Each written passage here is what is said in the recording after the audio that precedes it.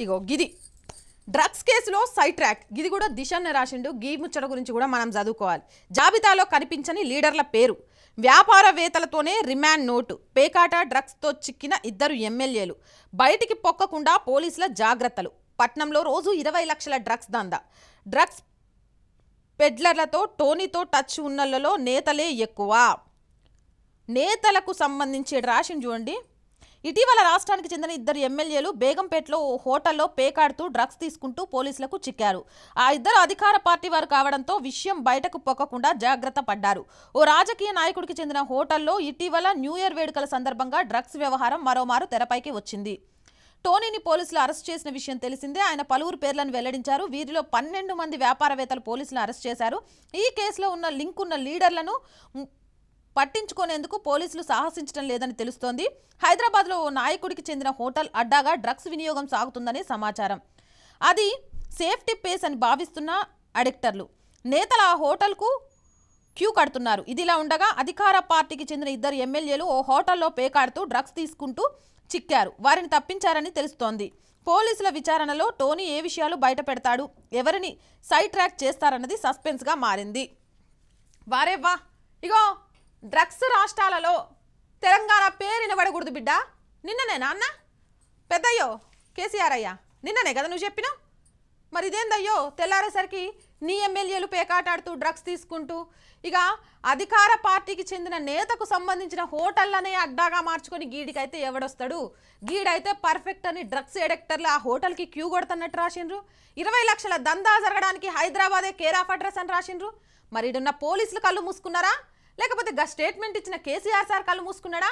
లేకపోతే ఇక్కడ యాక్షన్ తీసుకోవాల్సిన అధికారులు కళ్ళు మూసుకున్నారా? లేకపోతే వాళ్ళకు కూడా కూతుర్లు ఉన్నారు రేపో మాపో పెళ్ళి కావాలి కాబట్టి చూసి చూడనట్టు వదిలేస్తున్నారా? అంటే ఇగో గడ ఆర్టికల్ వచ్చింది కాబట్టి నాకు సందేహం వచ్చి అడుగుతున్నా.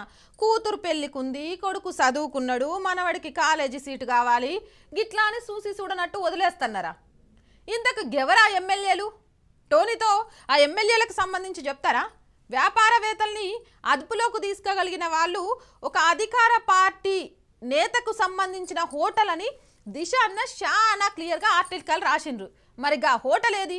ఇరవై లక్షల దందా హైదరాబాద్ సిటీలో జరుగుతోంది అంటే అది పోలీసుల వైఫల్యం అని చెప్పాలా? లేకపోతే ఈ డ్రగ్స్ వీటన్నిటిని పట్టించుకోవడానికి ఆఫీసర్లు ఉంటారు కదా వాళ్ళ వైఫల్యం అని చెప్పాలా? లేకపోతే నేతలకు ఉన్న అధికార ఏమంటారు? బలం అని చెప్పాలా?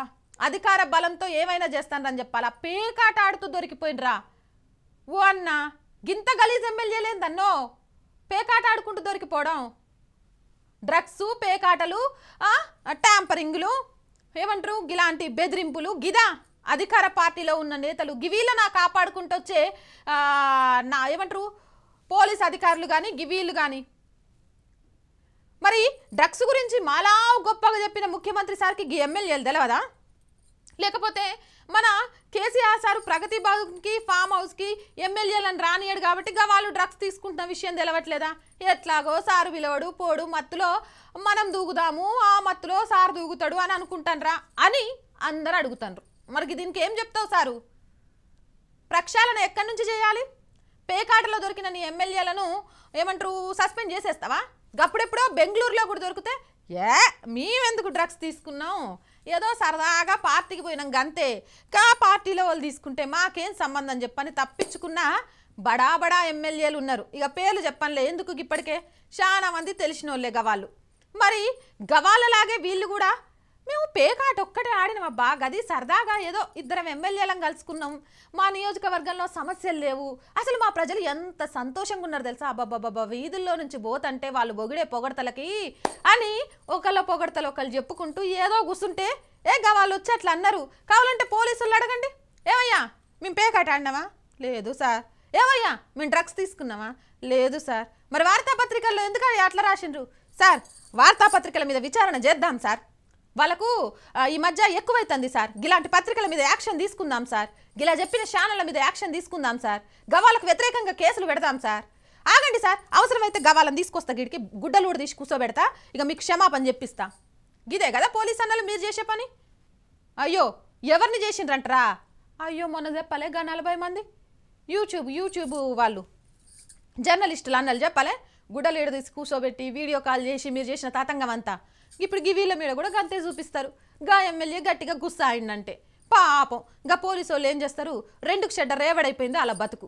అటు పోతే వీళ్ళ కోపం. ఇటు వస్తే వాళ్ళ కోపం. ప్రజల వైపు ఉండాలా? పార్టీ నాయకుల్ని కాపు గాయాలా అర్థం కాక తలలు పట్టుకొని తెలంగాణ పోలీసులు జెండు బాంబ్ సీసాలేంది బయట తిరగని పరిస్థితి అయిపోయిందట.